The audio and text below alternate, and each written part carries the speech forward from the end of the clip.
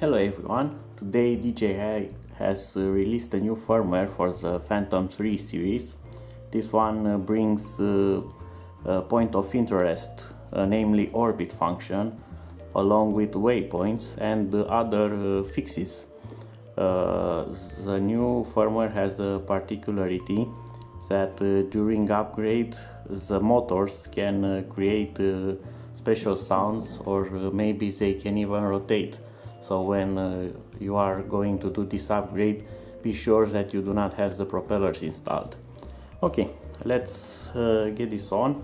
Uh, you will need uh, uh, the original SD card. You can use any kind of SD card but uh, some people had problems updating the firmware for their Phantom 3 so I recommend you if you still have the original SD card use this card to avoid unnecessary problems you'll need also a SD card reader and uh, a good practice before updating firmware is to format the card. I'm using uh, SD format tool utility. I'm gonna show you just in a moment. It's a free application for uh, formatting SD cards to proper format. This one SD formatter it's now on version 4 I'm going to format the card. Yes quick format. It's formatted okay. Now I I have uh, already downloaded the firmware and uh, unpacked the archive. Going to copy it and put it in the root of the SD card. Do not create any kind of folder or copy it in the image folder. Just in the root of the file system of the SD card. Alright so the file is on the SD card. We're gonna safely disconnect the card. Alright so further on I will remove the gimbal protector. I will remove the existing card and put the card we have uh, put the firmware on. Uh, we need to charge the battery. It uh, must have at least 50% I'm using a full battery just to be sure. And now we're gonna start the battery. And wait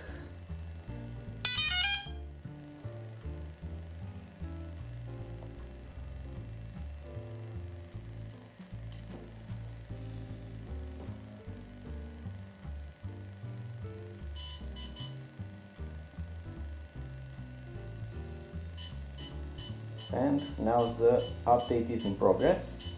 You can also check this not only by the, by the sounds but you can see the gimbal LED here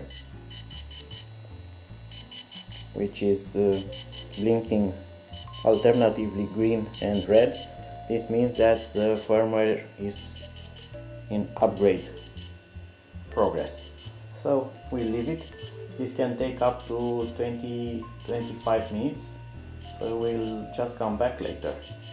So here we are uh, about 10 minutes later. This was a fast update. Uh, you can see that it uh, finished successfully. The green LED.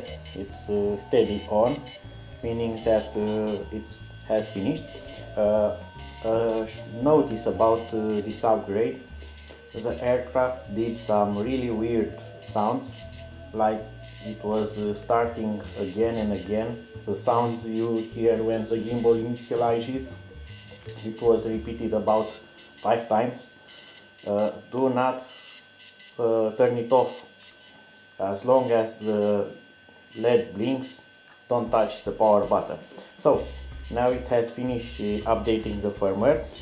We can also check now if the update was successful I'm gonna take the card out and uh, put it into the card reader and we'll uh, see on the laptop what uh, it's on it. It should have uh, some text files in which it should uh, say how the update procedure went. So I have connected the card reader to the laptop. I'm going to open the SD card and uh, here we have a text file and if, we open it there's a log. I'm gonna try to zoom in for you to see better. Just a moment. Alright. And we can read here that we have success and the last version is here oh, 1041010 this one. It's uh, packet number and it's uh, result success. You can see here that uh, kind of a history the older version 103 and so on. To access the new functions like uh, point of uh, interest orbit or uh, waypoints you need to update the DJI Go application. You can see that on the market you have an option to update it. We are going to update it now. This one actually brings the new functions. You can see here intelligent navigation mode in F mode course lock home lock and so on. Points of interest and follow me of course if you have a tablet with a GPS function you can use it as a home beacon for your uh, aircraft and uh, it will follow you. Okay the update it's done. I'm going to open the app.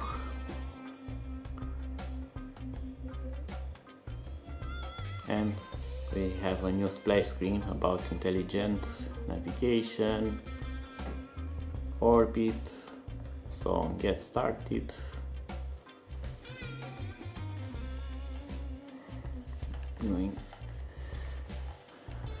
Here we get a new announcement about the available firmware. Also the Phantom 3 Advanced model now supports 2.7K resolution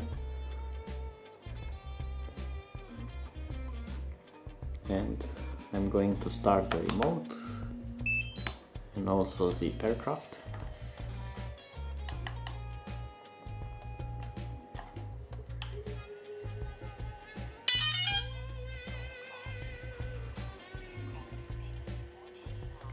I'm gonna enter camera view to have access to the new functions you need to go into setup and uh, on aircraft settings on advanced settings you need to be sure that you have enable multiple flight mode enabled. And then the options are available by switching the mode from uh, po position 80, 80 and to F80 but to use this uh, you need to take off. So I'll do another video shortly with uh, the orbit function when the aircraft is uh, in the air. Bye bye.